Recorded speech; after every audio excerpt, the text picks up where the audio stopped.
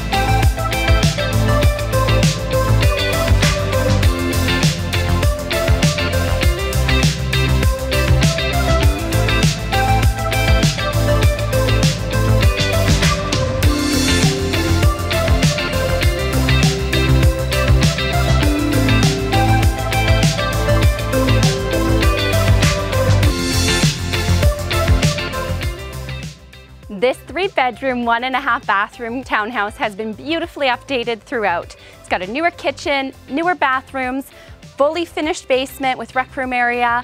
You've got a new roof, newer windows, and a newer high efficiency furnace as well. This incredible end unit location with beautiful gardens, patio, and you're close to the river, green space, and additional parking. Get in touch today. I'd love to show you this great property.